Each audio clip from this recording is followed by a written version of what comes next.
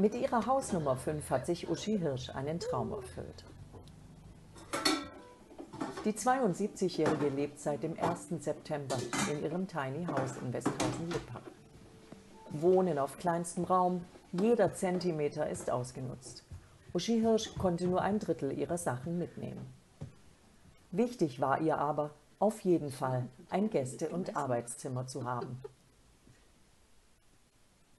45 Quadratmeter hat das Haus, das ganz aus Holz gebaut wurde und mit Infrarot beheizt wird.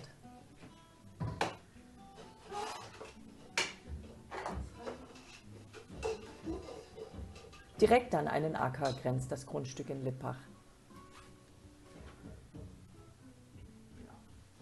Über eine Treppe kraxelt Uschi Hirsch in ihr Schlafzimmer, aber auch das genießt sie genauso wie die kleine Wohnfläche mich zu verkleinern, zu verringern.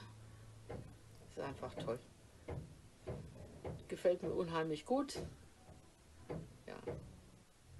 Die Höhe finde ich sehr interessant. Also die, die Rauminnenhöhe, die Vielfalt, man kann so viel draus machen, eigentlich auch mit diesem Grundschnitt.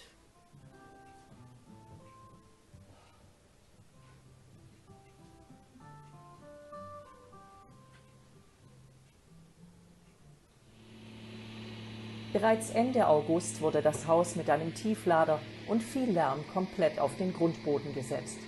Dann erst bekam es noch die Außenverkleidung, wurden die Leitungen verlegt. Davon ist heute fast nichts mehr zu sehen.